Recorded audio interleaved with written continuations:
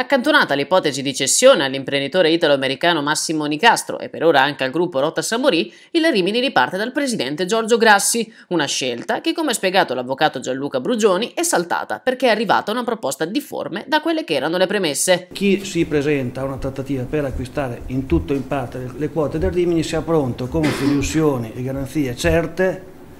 che consentono di dare stabilità e certezza al Rimini e non dover tornare mai più sottoscritto quel contratto su questioni economiche, cioè i pagamenti vanno garantiti. Grassi lascia comunque la porta aperta a nuovi soci, che in caso di concretezza potrebbero essere tranquillamente ascoltati, ma pochi giorni dall'inizio del campionato, dell'era Pentanicastro rimane la certezza di un nuovo staff tecnico e nuovi giocatori portati appunto dalla gestione italo-americana. Direttore sportivo e allenatore comunque sono già stati confermati da Giorgio Grassi, che ammette di non essersi pentito di averli conosciuto ed è anzi contento di averli a disposizione. Il Rimini è pronto, tra virgolette, ad iniziare il campionato e l'unica certezza sembra appunto essere lo staff tecnico parte la scelta di quest'app che io non conoscevo, però credo che